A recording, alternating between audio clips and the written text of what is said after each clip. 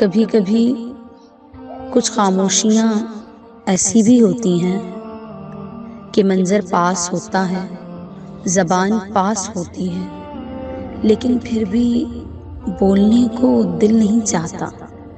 बस दिल करता है अपने तमाम दर्द, तमाम आँसू मुसल्ले पर ही अयां किए जाएँ। बस अपने अल्लाह के सामने, बस एक चुप उतरती वजूद पर एक ऐसी चुप, जैसे अब जो भी हो, जबान का इस्तेमाल अब मुमकिन ही नहीं। बस जो कहना, जो बोलना, सिर्फ़ अल्लाह के सामने।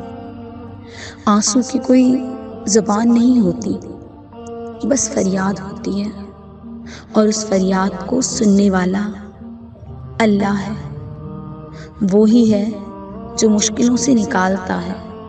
बेशक वही है जो अंधेरों को रोशनी में तब्दील करता है।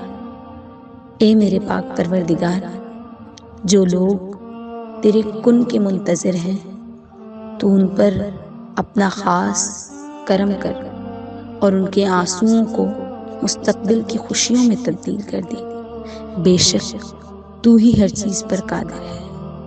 आमीन।